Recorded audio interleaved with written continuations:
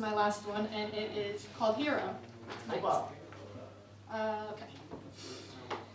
What's a hero without someone to rescue and save? What's a hero without a problem to solve?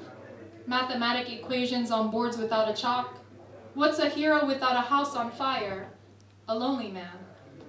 What's a hero without a face? It's the beating of our hearts inside our chest feeling fear near. The hero isn't a person with a cape trying to help you escape the dangers of the world while it engulfs you whole. The hero was the silence inside your heart that we began to hear without that beer in your hand at a bar far. Outside waiting for that hero or shero to come by, all while it was right inside.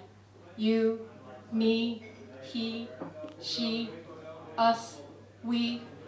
We be the heroes and sheroes, I say, you, me, can be for today and tomorrow. Thank you.